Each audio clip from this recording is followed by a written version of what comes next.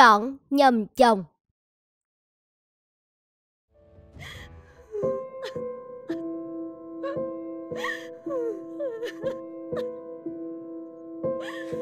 Cô có biết bao nhiêu cô gái ao ước được ở vị trí của cô không? Việc trở thành vợ của tôi đã là may mắn lắm rồi. Vậy mà chỉ có việc chăm sóc cho chồng cũng làm không nên hồn. Cô nhìn xem, cái áo này còn la không phẳng. ừ, Em đã là rất cẩn thận rồi Nhưng mà Dám cãi tôi à? Tôi chịu anh đủ lắm rồi Từ ngày về đây Tôi không có ngày nào được sống yên ổn Tôi thật sai lầm khi đã lấy anh Cô giỏi lắm. Đã thế, tôi sẽ ly hôn. Với một người danh tiếng như tôi, tôi sẽ cho lên khắp mặt báo. Rồi thì ai sẽ dám cưới cô nữa chứ? Cô sẽ trở thành kẻ cô độc suốt cuộc đời. Tôi sẽ chống mắt lên xem cô sống thế nào, không nghề nghiệp. Cô làm gì để kiếm tiền đây? Trời ơi, con bé Netra lên báo đây nè. Hóa ra con bé Bị người chồng doanh nhân nổi tiếng đòi ly hôn Và đuổi về nhà đấy. Nè nè nè nè, xem nè. Anh ta chê bai con bé đủ điều. Thế thì sau này còn ai dám lấy nó nữa cơ chứ? Đã bị một người chồng nổi tiếng giàu có thế này bỏ, Thì đúng là thứ con gái không ra gì rồi. Netra Đã một năm rồi, Con vẫn còn buồn chuyện cũ hay sao? Anh ta chưa buông tha cho con mẹ ơi. Con đã cố gắng học hành Thì được vào làm tiếp viên hàng không? Con muốn khẳng định bản thân Nhưng ai sẽ công nhận giá trị của con hả mẹ? Con đâu có lỗi gì. Nhưng con không sao thoát được định kiến của mọi người mẹ ơi. Không sao đâu. Mọi cố gắng của con sẽ được mọi người nhìn nhận thôi mà. Dẫu sao, ở đất nước chúng ta Một cô gái bị chồng đuổi về nhà và ly hôn Cũng khiến những người xung quanh coi thường. Thôi thôi, không nghĩ nữa con. Con đã trở thành tiếp viên hàng không sau bao nỗ lực. Ngày mai là chuyến bay đầu tiên của con rồi. Hãy nghĩ tới việc đó. À mà Rahul nói rằng không gọi được cho con. Con không bắt máy của Rahul à? Ừ, Con Con con không dám tiếp tục mối quan hệ với anh ấy nữa mẹ ạ. Mẹ biết đó Gia đình anh ấy không đồng ý con Mẹ biết Nhưng Rahul yêu con mà Con có quyền tìm cho mình một hạnh phúc mới. Anh ấy sẽ không đủ sức để vượt qua gia đình đâu mẹ ạ.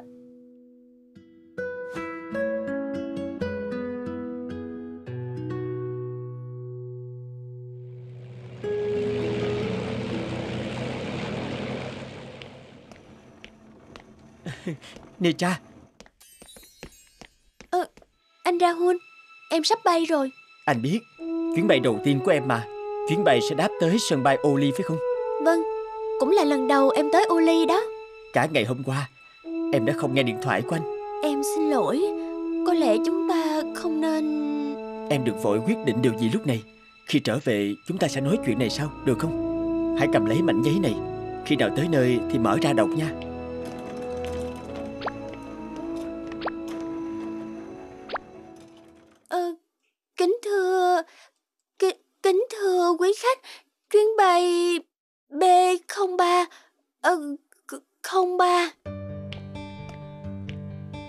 Một bài à?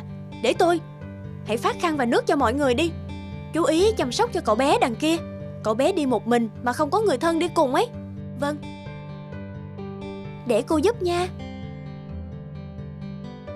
Có gì mong chị bảo thêm Buổi đầu bay cho nên Ừ tôi biết rồi Nghe nói cô đổ với số điểm thấp lắm Đó là sự cố gắng nỗ lực Trong suốt một năm vừa qua của em, Cho nên Được rồi, tôi hiểu rồi Trước đây cô là vợ doanh nhân nổi tiếng cơ mà Chỉ biết ăn hại thôi chứ biết làm gì đâu phải không Bài báo À, à, à mà thôi Chuyến bay mang ký hiệu MS340 của chúng ta bắt đầu cất cánh. Kính chúc quý khách một chuyến đi vui vẻ.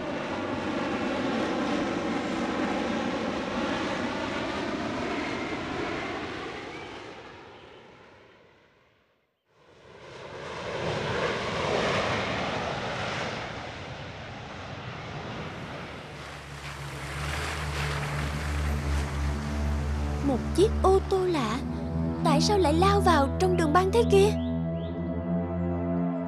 Mời quý khách xuống theo lối này ạ. Ừ, Từ từ đã. Tất cả ngồi im, động đậy sẽ bị bắn. Ôi trời ơi ờ, Khủng bố Khủng bố bố hay. Có khủng bố Cơ trưởng hãy mau ra khỏi máy bay đi. Cơ trưởng và cơ phó đang chạy trốn Mau giữ chúng lại Chết tiệt. Chúng ta định điều chiếc máy bay này bay về căn cứ. Giờ không có cơ trưởng và cơ phó. Phi hành đoàn chỉ còn mấy đứa tiếp viên. Phải làm sao đây? Bắt bọn chúng cung cấp cơ trưởng. Nếu không những con tin này sẽ bị giết. Mày hãy gọi về quản lý sân bay Yêu cầu cung cấp cơ trưởng. Để tôi gọi. Được gọi đi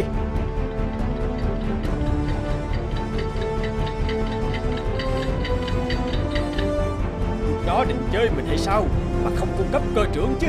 Chúng bay Chờ chừng 5 phút nữa vẫn không thấy cơ trưởng. Giết chết tất cả hành khách cho ta.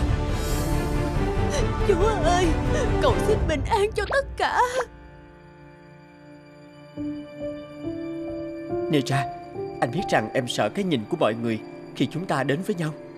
Em sợ anh sẽ không thể vượt qua được sự cấm đoán của gia đình Để đến với em phải không?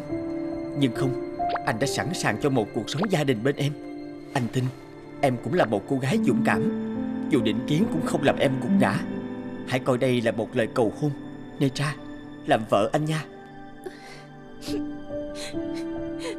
Cảm ơn anh Rahul Em nhận lời cầu hôn của anh. Anh đã cho em sức mạnh. Em không còn sợ gì hết.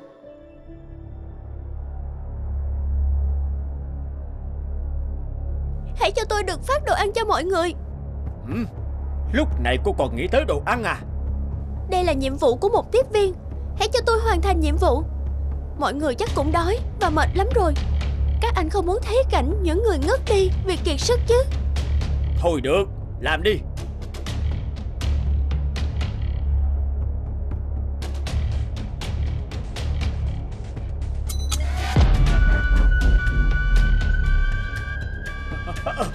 Chuyện gì thế Đã làm gì hả?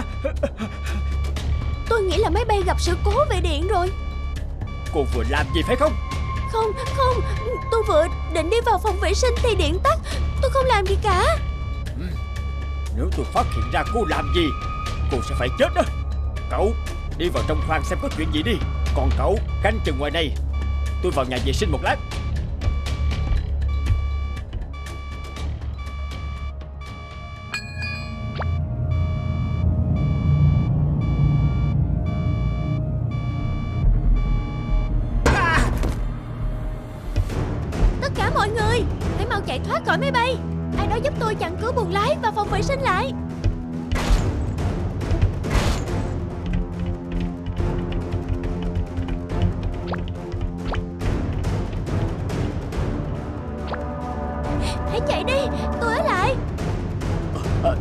Mình cô ở lại sẽ rất nguy hiểm. Bọn chúng sẽ không tha cho cô đâu. Không sao đâu Tôi có nghĩa vụ phải bảo vệ khách hàng của mình. Các anh hãy chạy mau đi Cảnh sát sẽ kịp tới đây để giải thoát cho tôi.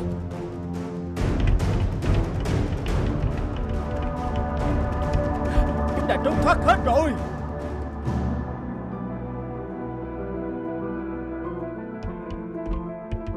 Cháu bé Chạy mau ra khỏi cửa thoát hiểm đi Đứng lại Đừng hòng chạy thoát. Đứng lại.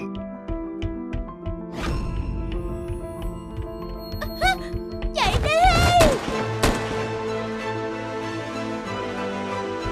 Cảnh sát đây Bỏ hết súng xuống.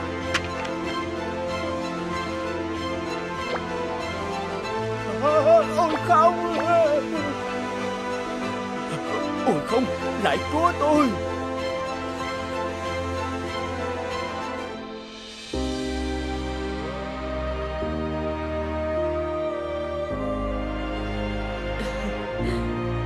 vinh dự khi nhận được bằng khen của chính phủ thay cho Nira, con gái tôi. Nira chưa bao giờ chịu khuất phục trước cái xấu. Cho dù con bé không còn trên cuộc đời này, nhưng tôi tin rằng nó sẽ còn sống mãi trong lòng của những người yêu thương con bé. Nira, bố mẹ tự hào về con. Bộ phim dựa theo câu chuyện có thật về Nitra Panos nữ tiếp viên hàng không của Ấn Độ đã dũng cảm đối mặt và hy sinh thân mình để cứu sống hàng trăm hành khách thoát khỏi bọn khủng bố. món ngon để lại.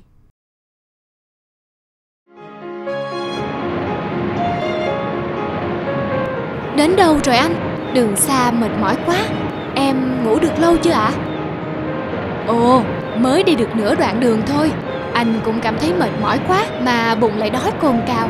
Bác Tài ơi, chúng ta có thể dừng xe nghỉ một lúc được không? Ồ, chỉ mấy cây nữa thôi sẽ vào thị trấn. Mọi người sẽ xuống xe ăn uống và nghỉ ngơi một lát. Vùng này nổi tiếng là có nhiều món ngon đấy. Ồ, thế thì thích quá.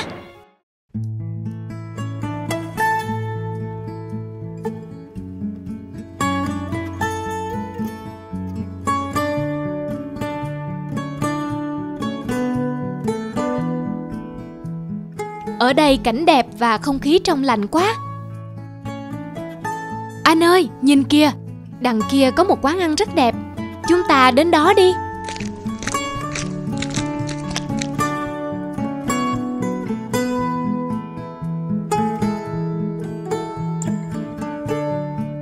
Nhiều món quá, em không biết chọn món nào. À, đây rồi, món canh chua hải sản, ngon nổi tiếng vùng này anh ạ. Em đã nghe nói từ lâu. Mình vào ăn đi anh.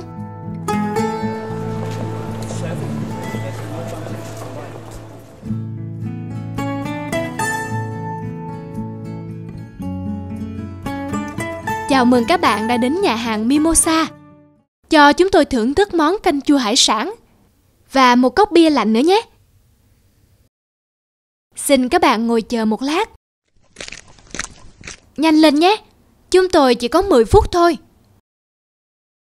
Chỉ có 10 phút thôi sao? Có phải các bạn là khách đi trên chiếc xe buýt đường dài kia không? Dạ, đúng rồi ạ.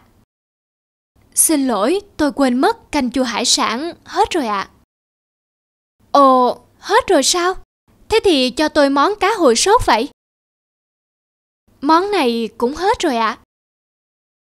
Vậy món mực chiên tỏi ớt thì sao? Đều không còn, chúng tôi chỉ còn bánh kẹp thịt thôi. Các bạn hãy ăn tạm món này vậy. Bác chủ quán ơi, món canh chua hải sản ngon quá, cho tôi thêm một suất nữa nhé. Dạ, xin chờ tôi một lát ạ. Sao ông bảo đã hết món canh chua? Xin lỗi, vì các bạn là hành khách đi xe đường dài kia, thời gian chỉ có 10 phút, nên các bạn chỉ có thể chọn bánh mì kẹp thịt. Tôi đã tốn cả buổi sáng để làm món canh chua hải sản, nên không thể cho các bạn ăn món đó mà không có thời gian thưởng thức. Đây là bánh mì của các bạn. Hẹn lần sau các bạn có thời gian, tôi sẽ hân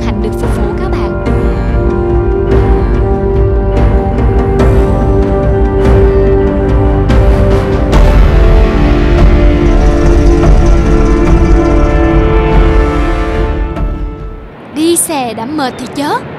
Tự dưng gặp ông chủ quán dở hơi thế không biết Thật khó chịu. Ồ, em yêu. Ông chủ quán đó rất hay đấy. Ông ta đã giữ uy tín cho cửa hàng của mình. Ông ấy rất coi trọng sự phục vụ. Đối với họ, thức ăn ngon cần có người biết thưởng thức.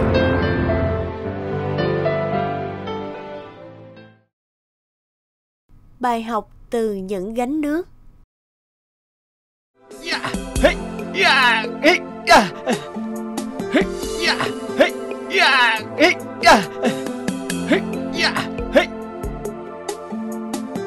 Cậu đang làm cái gì thế? Không biết võ thức thật. Hôm qua mình bị mấy thằng du côn ăn hiếp mà không làm gì được. Thế cậu có thích học võ không? Thích quá đi chứ. Nhưng học ở đâu mới được? Trong núi có một sư phụ dạy võ giỏi lắm. Thế còn chần chừ gì nữa? Ngày mai bọn mình đi luôn đi.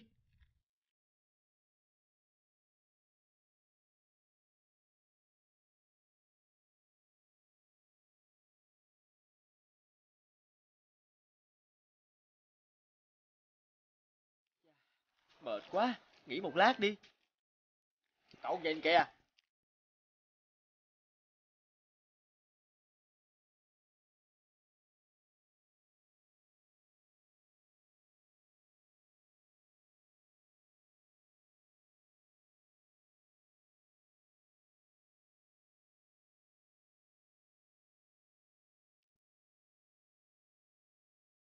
À, cháu chào ông. Ông ơi cháu muốn tìm nhà sư phụ dạy võ ở đây. Ông có biết ở đâu không ạ? Thế à, các cháu tìm ông ấy có việc gì? Dạ, chúng cháu tìm để học võ ạ. À? Vậy thì các cháu tìm đúng người rồi đấy. Là ông ạ? À? chúng con xin chào sư phụ. Thôi được rồi, đứng lên đi. Thế ta hỏi, các con định học võ để làm gì? Chúng con học võ để tự vệ ạ. À. Phải để trừng trị bọn xấu ăn hiếp người khác. À? Thế vẫn chưa đủ. Học võ là để rèn luyện cả về trí và đức nữa. Rèn luyện để cái tâm luôn sáng. Nào, theo ta về nhà. Sư phụ, để con gánh ạ. À?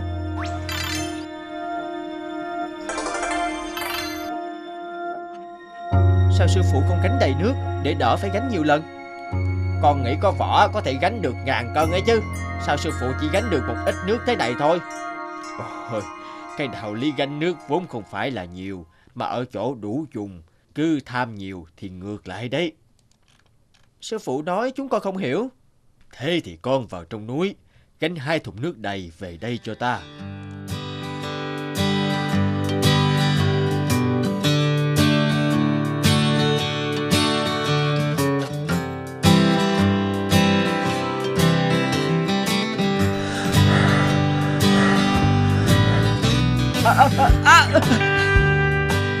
Đường gì mà toàn đá mấp mô, Thế là đổ hết nước rồi. Ta còn xách cái đầu gối nữa. Tệ thật. Thầy ơi, sao mà cậu ấy đi lâu thế nhỉ? Cứ yên tâm, Không sao đâu.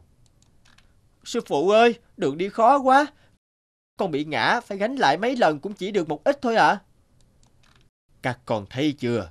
Nước đổ rồi, không phải gánh lại sao? Đầu gối rách, Đường khó đi. Nước không phải ít hơn sao Vậy làm sao để biết được nên gánh bao nhiêu là đủ ạ? À? Các con nhìn đây, đường kẻ này là đường đáy ta tự vạch ra. Sao sư phụ lại gọi đó là đường đáy? Và để làm gì ạ? À? Đường đó là giới hạn ta tự vạch ra, dựa trên khả năng và sức lực của mình. Mỗi lần múc nước không được vượt quá giới hạn đó. Đường đáy nhắc nhở chúng ta rằng phải làm hết sức mình, nhưng cũng sức mình mà làm Thưa sư phụ, đường đáy này cần phải xác định thế nào mới được ạ? À? Đây là mục tiêu đặt ra để thực hiện. Ví như chuyện gánh nước, lúc đầu đặt thấp một chút để dễ thực hiện, rồi sau đó tăng dần đến một giới hạn thích hợp. Gánh nước đi vững vàng thì đó là đường đáy của mình. Vâng ạ, à, chúng con hiểu rồi ạ. À. Cuốn nhật ký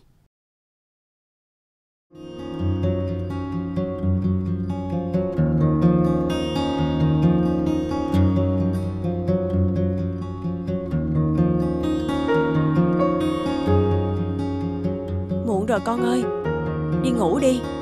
Mai còn dậy sớm nào con. Dạ con xong rồi đây mẹ ơi. Ngày 6 tháng 3 Sắp đến ngày 8 tháng 3 rồi.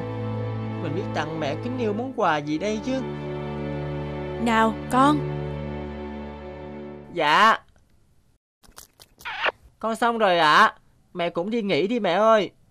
Mẹ còn phải đăng nốt cái áo này cho người ta đã. Con đi ngủ trước đi nha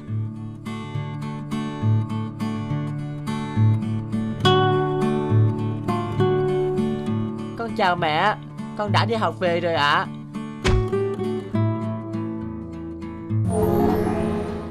Nào nào con yêu của mẹ Đặt cặp sách cho cẩn thận nào Dạ vâng ạ à. Lạ nhỉ Mình luôn cất cuốn nhật ký xuống dưới cùng Sao giờ lại ở trên thế này Chắc mẹ đã mở cuốn nhật ký của mình ra xem đây mà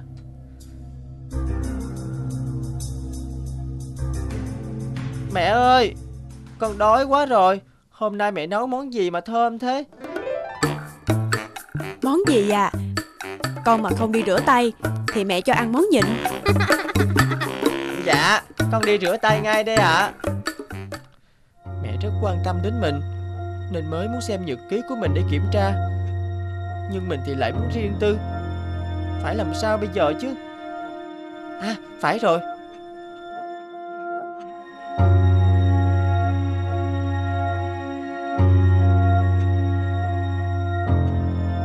Con học xong rồi mẹ ơi, Con đi ngủ đây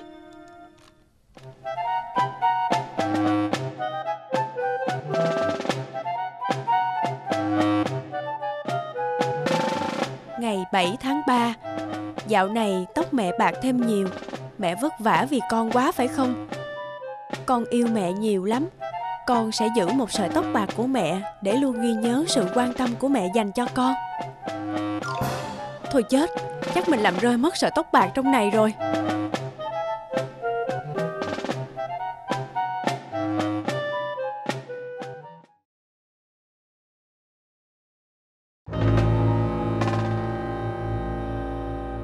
Mẹ Hôm qua mẹ lại xem nhật ký của con rồi. Ờ, Làm gì có việc đó Chẳng phải sợi tóc bạc vẫn ở trong đó sao?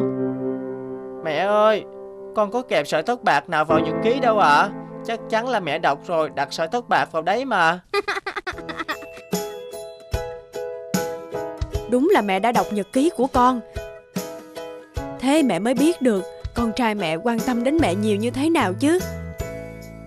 Hôm nay là ngày 8 tháng 3 Con đã tặng mẹ món quà tuyệt vời nhất rồi đấy, Con yêu của mẹ à.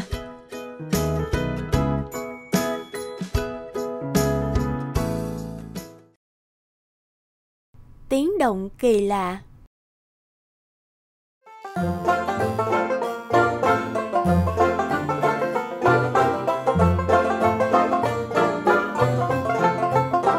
Năm nay được mùa quá ông nhỉ?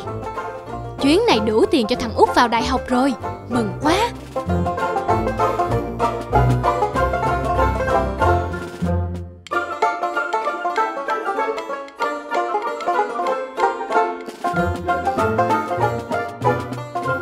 Đây nghỉ tí đi. Tôi mệt quá. Chỗ này mát gớm. Không có cái cây này Thì ra đồng về chẳng biết ngồi nghỉ ở đâu.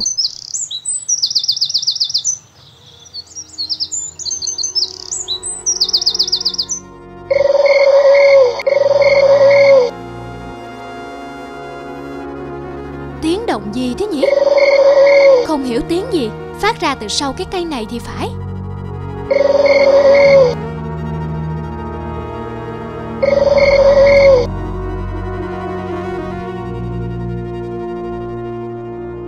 có thấy gì không? Không, chẳng thấy gì nữa. Lạ quá. Này, tôi nghe nói Những gốc cây lâu năm là hay có thánh thần ngự lắm. Phải đấy Có khi thế thật. Ôi ôi, thế thì mau tạ lỗi đi Khéo thần nổi giận thì nguy. Còn Nam Mô A Di Đà Phật, Con xin lạy thần cây, Xin thần cây xá tội cho vợ chồng con. Vợ chồng con người trần mắt thịt Chẳng may có gì mạo phạm tới người, Xin người xá tội. Ngày sáng mai, chúng con xin mang lễ tới tạ lỗi với ngài. Còn Nam Mô A Di Đà Phật.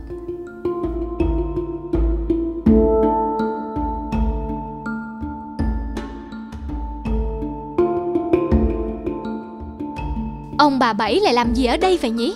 Anh chị làm gì trong ấy thế? Sao lại hương khói nghi ngút lên vậy? Chẳng là thế này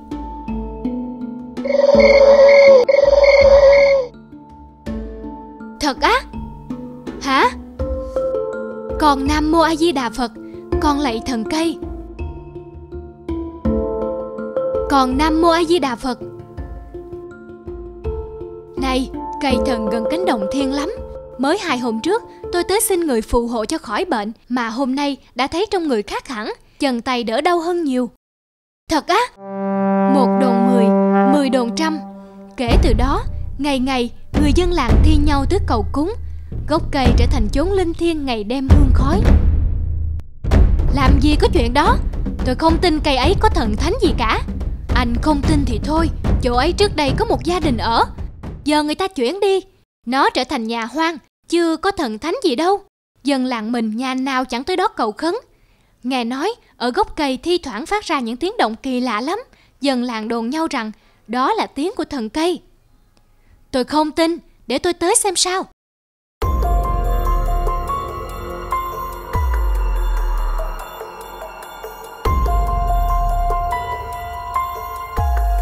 Có gì đâu nhỉ? Đâu phải cây thần gì chứ?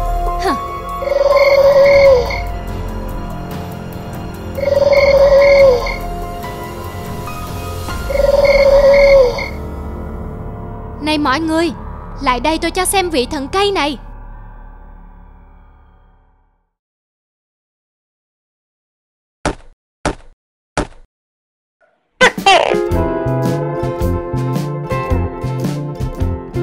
Đấy Đấy Các vị thấy vị thần cây chưa?